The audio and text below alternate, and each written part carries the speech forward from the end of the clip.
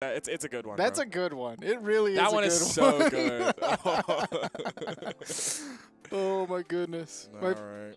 and, Someone familiar with the neighborhood, Young yeah, Cheeks. and true, Cheeks has been around for that. For Kenny G. I feel like Kenny G has also been around In- since in- that era. Right, right. But you know, a, a little more closely knit to the, uh, you know, the Arlington, Definitely. right, the factor of, of DFW. Mm-hmm. But it's good to see him come out. I don't honestly see him at too many Ultimate Shockwaves. No. Usually sticks to the Mav Mayhems, but Yeah. man, what a Shockwave to show up for Kenny G. He is blazing through this bracket. Show up is right. He's not just here. It's not like gym class where you just get in. Yeah. get that no, he showed up and he is showing out He is well. working for that grade. Mm-hmm. GPA high as hell. Winners finals off the back of some solid wins. But Cheeks has been playing incredibly solid. Both of these players, we I've been every time I talk about a set when one of them's on the screen, have kind of been pulling from what the other one was doing Right. earlier. They have a very similar game plan of that defense, that whiff punish.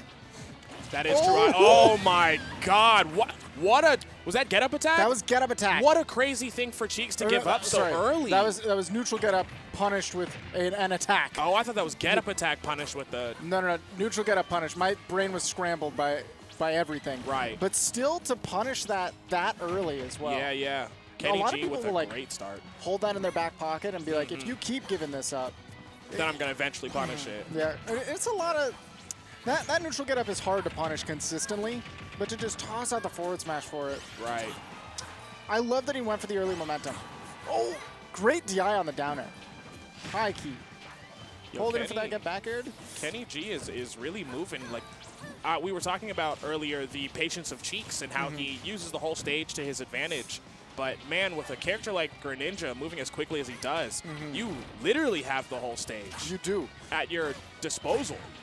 And one whiff from the other person means all the way from the other side, you're sliding in with that. Oh, great, great dodge there, because you know there's really nothing that you can scoop from below. No way that kills. No way that kills. Oh, Oh. my God! He had time. He had time, and even if he didn't have time, he was covering a roll in also. That's crazy. And Cheeks tried his hardest to get away from that situation. What Excellent, a reversal. great reversal. pickup. Catch Kenny G getting a little bit too greedy. You gotta punish him at some point for sticking the hand in the cookie jar. You didn't finish your vegetables yet, sir. Mm-mm. Oh, even punishing the Nair and the runaway afterwards. Call on the jump. That is something that we saw Fox capitalize on. Kenny looks, he's playing a hoppy frog. He's going to want to jump out every once in a while. Mhm, He's feeling froggy. Uh-huh. God, Ooh, that's I so love the forward dangerous. He had no options in that situation. The Nair is not what you want there, surely. that was that was just a little bit silly. I love a man with a little bit of heart, though. Oh! Cheeks has heart. Oh, yeah. He's got soul. Peace. No way. Uh, not quite. Did not get yoinked, surely. It's still danger, though. Oh. All right, jabbing. Try to get that momentum reset. Don't want Cheeks to get started. At a high percent like this, you know, and this is how he kind of beat Fox earlier. A high percent like this, once you get that stock, mm-hmm. if you fail to clutch out that very last stock, you can find yourself losing the game. Mm-hmm. Yeah, if Kenny G finds himself just holding in a little bit too much. Oh. He's already taken 45 for one conversion. Now he has to get back from the corner, but that should not kill. There's no way. That was a straight up lie. That was a lie. That, hey, if Cheeks wanted the game to end, he could have held in there. He had 20 opportunities. he could have held hit. out and that joint wouldn't have. Yeah. like, wow, what a down air. Oh, the up air so close. The back air not uh, connecting fully. Yeah, because he landed on the platform. I feel like that should have just killed. Oh, this is so terrifying. He read the jump, but Greninja's jump is so high, it's hard to cover that. Cheeks, yup. Waiting for Kenny G to commit in the middle of the read. stage. Didn't yeah, watch that back classic. air. Watch that back air. Oh, That wait. kills? Up throw, maybe. Yes, sir. That was good DI too. yeah, Very far behind Greninja. You have to DI behind him. yeah. He went straight behind, but still, that, that up throw is strong. Excellent patience from Kenny G, too, because, Mm-hmm. you know, Cheeks was getting a lot of the momentum from watching Kenny G commit Mm-hmm. first. And then what's funny is that that last commitment was on Cheeks. He hit Mm-hmm. the dash attack on shield, got tossed for it. Uh, so it's, it's funny you said that earlier, um, that they both have like the same similar defensive uh, Mm-hmm. with punish play style, right? Where they use the whole stage, they try Mm-hmm. to move around and make you swing first. Um, and normally, you know, you'd see Cheeks be the person to um, exemplify that play a little bit solid or more solid, you know, a little bit stronger than most. Um, but Kenny G has always been this type of player, so it's like looking yourself in the mirror, Mm-hmm. like who wins. And I think not only like similar playstyles being a factor, or like which one you know is more solid at that particular playstyle, but I think Greninja in particular here is a little bit more solid at doing that to Palutena because you have just a little bit more burst range Ah. and more impactful burst range. Like if you Uh-huh. hit a dash attack with uh, with Palu, you're not getting a lot off of it against Greninja, but if Right. Greninja gets dash attack, you get a full combo. Right. I think that definitely plays here for Kenny G in his favor. Cheeks is going to have to play at a little bit closer ranges and force awkward interactions from Kenny G. Either that or just try to find Kenny G's play style and say, I'll play it better than you. But Exactly. That's going to become a war of attrition. I mean, either way, you're going to work with unfamiliar territory. Yeah.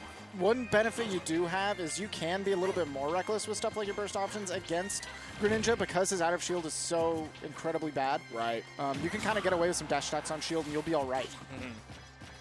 As long as it doesn't become a huge habit for Kenny G to pick up on, Cheeks can definitely even up the game. Bam! That is a habit that Cheeks He- picked up Yep, on. he caught him jumping a lot, mm-hmm. or at least recognized that he was jumping a lot, and that was a big catch. Mm-hmm. And now put him in the spin cycle. Wash my clothes, please. Yeah, there was a couple of misses where he read the jump, but was like, I can't get there high enough. What can I do here? Well, up smash is pretty tall, so we're going to go there. And long lasting, the active mm-hmm. frames on that go dummy.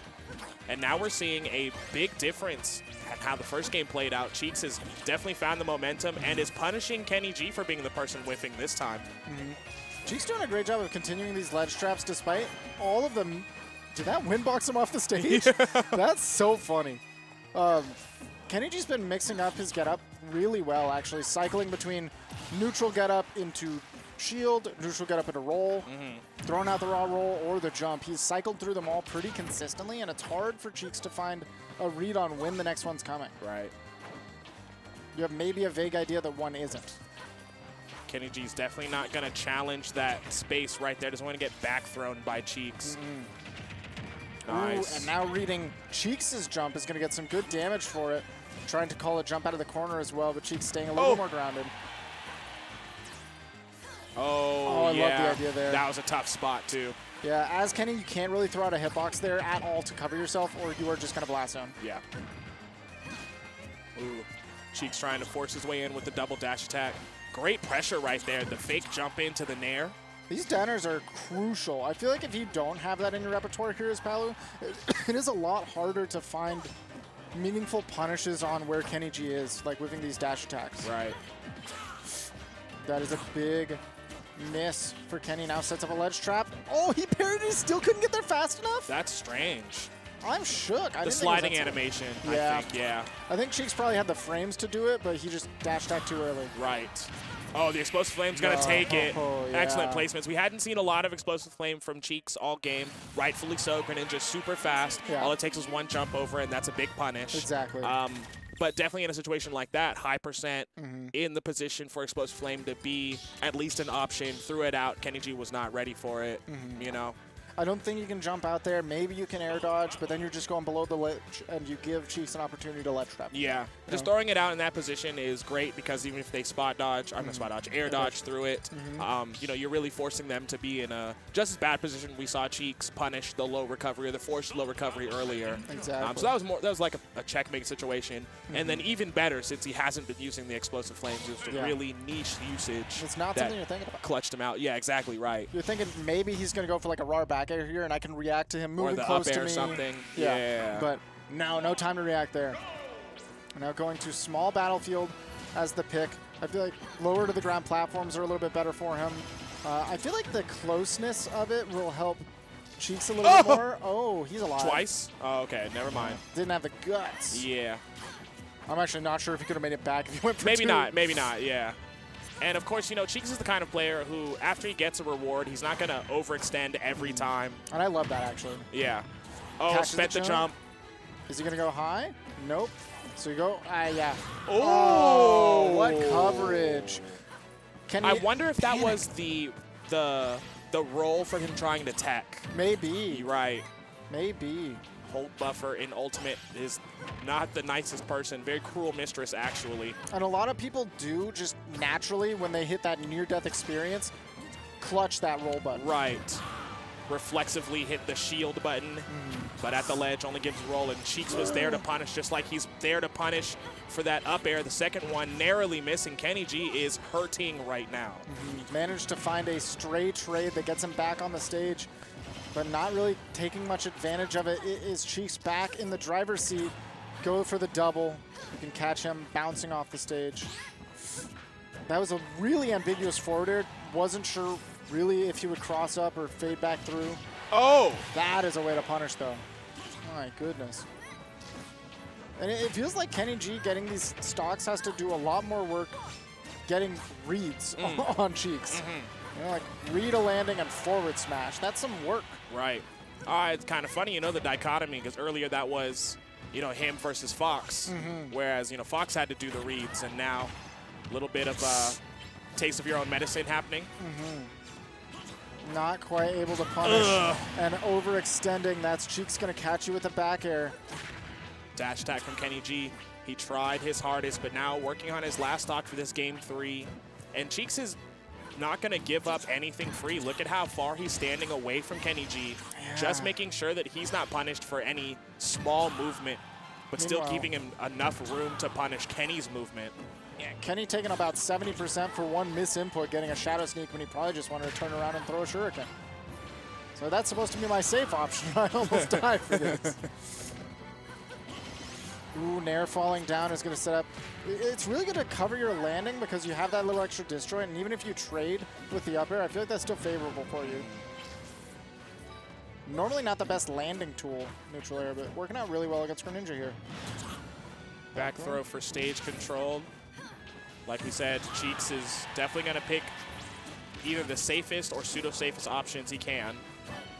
Oh, the down air. Yeah, That's crazy because it was ambiguous on the shield. Kenny didn't know where to be for the punish. Yeah, and Cheeks scouted that roll as well with the down air, just a little bit off on the timing. He really is, he really is catching on to Kenny habits on both how to get off the ledge and how to get back to it even. Yeah, there with the explosive flame. And we were talking about Cheeks, you know, picking majority of his gameplay being the safe options or giving, you know, play a, a- a wide berth of room so that he can make informed decisions. Um, and, and it's working out for him as the set continues to go on because now he's finding out where he can lock down a certain option with um, a, a more confident you know Yeah. interaction or when he doesn't actually have to do anything. And it's making Kenny G lose the game for himself. You know what I'm saying? Like Kenny definitely has these these moments where he's doing great making reads making cheeks do some of the work but it, it really feels like he's making Kenny think that Kenny has to do the work Yes, he's making Kenny feel like he has to be the one to Kenny's dash fighting attack himself, early. right. Uh-huh. He's not whiff punishing as much. He's saying, I'm going in with this dash attack. Right. And that is where the struggles may lie. Man, Cheeks is such a psychologically tormenting player to go up against, man. Ooh, he caught the double jump there. That's one thing. You feel like you're playing safe using that jump to space yourself, but as soon as that double jump's gone, that is the moment Cheeks realized I can start to press a button. You know, he's letting you waste your own resources. Stuck in the corner, though, this is pretty good for Kenny. Dash attacks, not reacting. Oh, Kenny was working with great percent lead, but maybe going in with a little too much of a risky plan. I love the downer as the pressure there from Cheeks a little bigger. You threaten uh, the roll in or the ability to cover tech in, in place. And if they roll out to the ledge, you just have position on the stage. He's done a lot of choices like that where it's very low risk and pretty solid position, pretty solid rewards. Right. If Kenny just gives it to him. God, this is tough. Mm. Because, I mean, even when Kenny had the, the lead in the beginning, he had such great momentum. Yeah. And now, like, now he's forced into, or at least what he thinks forced into, having to make up the deficit. Yeah. And that's Cheeks' game plan. That explosive flame was so crucial. Getting up on the stage, being able to use this platform to his advantage, that's not what Kenny likes to see. He wanted this to be his stage. Right. Oh! oh! He knew that he wasn't going to be able to combo to the up smash, wanted the air dodge, and he got it. But Cheeks was able to drift in through the other side. That's a big back air. That's everything. And he's so quick with that, too. Finger on the trigger. This looks quite ugly. Kenny love that drop finally got a point on the board. Mm-hmm. Good recognition. Cheeks was trying to kind of waste your invincibility by using the ledge. Oh, I love the jab there. There's not really a lot that you can reliably connect. Oh! 50% for his troubles. Ah, Get, be gone. Oh my tried goodness. Can you imagine losing the game to Winbox down air? I would be so mad. I would be so mad. Ooh, tried to get that triple on the back air, but doesn't connect. Are we going to down tilt? Great position by Kenny to not get scooped. I love the retreat there a little bit. Try to give Cheeks an opportunity where he wants to dash in. Right, right. A lot more of that would honestly be great for Kenny G. If he had more stocks to play with, he could, you know, kind of test that out a little bit more. But just this one stock might be good enough for him to get back and bring this to game five. Okay, cool. I'm not crazy. Cheeks No, yes. should have two, right? It's definitely game. Yeah, it's game. definitely two. Two Cheeks favor. It's okay. I'm counting. Well, I mean, Now it's, Cheeks definitely it. Cheeks' uh, favor now. Just go, just go, make it to three. He got, he finally got the point. good on, good on Cheeks, staying incredibly solid, Mm-hmm. not faltering after game one, going Kenny's way, Mhm. and Kenny's still really, uh, really playing with heart all the way through. Didn't feel like he had any defeatist. Right. You know, mentalities creeping up. I feel like that's really easy to happen, especially against Cheeks, Mm. especially against somebody who's so good at doing what you do also. Mm-hmm. Mm-hmm. I agree. Um, you know, I, the only thing I would say is, you know, for for players who exemplify like so much of like the defensive traits in their gameplay, um, you know, they they are not they're not gods. you Yeah, know, like definitely it- not. It's you, you can find you know yourself against that that game plan, the one that you use so much, and and not know what to do, which is kind of what I think Kenny kind Mm-hmm. of folded to. You know, I would, usually you know it'd be Kenny playing the back, you know, the back foot, the whiff punish, the the, the gas and brake type of gameplay. Um, but Cheeks forced him to be on the gas all the time, Mm-hmm. and that's literally Cheeks' game plan. Um, so I mean, I mean, I don't know. I don't know. I think in an alternate universe, Kenny could have definitely got that to game five, or even taken that set. You know, but uh, Cheeks is so psychologically freaky to play when you're actually sitting down next to him. It's like everything's always safe. He's rarely making wrong decisions. He's going to be patient if he has to, but he also turns up on offense and on punish. So it's just it's terrifying. You never know when you're actually supposed to swing against him. it's so hard to play against that type of player as that type of player because Yeah. you develop this play style for a certain amount of consistency. It's the type of play style that works really well at beating lower level players. Right. This is something that I feel like um, we we talk about every once in a while, but like it is a different skill set to play different levels of players. Yeah. So like to be able to make sure I'm consistently sweeping through pools is a different play style than me having to Break constantly into- apply like mix and Right, adjust and right. against somebody else who is more similar to your level or even higher level, you have to start applying different uh, game plans Mm-hmm. and different play styles. Sometimes not entirely, right? But little shifts in your play style. But like a more defensive game plan is definitely one that comes up a lot as you're trying to get more consistent to beat out that lower level because if you consistently say I'm going to stay over here, you're going to press a button eventually. A lot of players will Right. just swing at you, and then you have an opportunity to go in. But if you never learn, and obviously Kenny has figured this out. It's not like he doesn't know this. Um, but if you never learn to apply any pressure, or if you never learn how to deal with somebody who's not holding in on you, that can be a huge like gap in your knowledge and your skill as a player. Um, obviously, he got that game one. They had a couple of down to the wire interactions, but I feel like Cheeks is just a little bit more developed on that front, where he, as you saw as the game went on, was able to develop his punish, develop his uh, reads to how Kenny was defensively playing. And Kenny didn't have as much of that. He still ended up getting some solid punishes, but uh, and had some good reads, like especially on the ledge. He was able to apply that, but I feel like that's a more simplified game state Right. than positions where Cheeks was getting the reads in advantage, where he was setting up tech chases and such, such like that. So, really solid stuff to Cheeks for just pushing that extra level Yep. on that front, Yep, yep. building his offense with his defense. Always pushing the meta game that mm-hmm. boy is.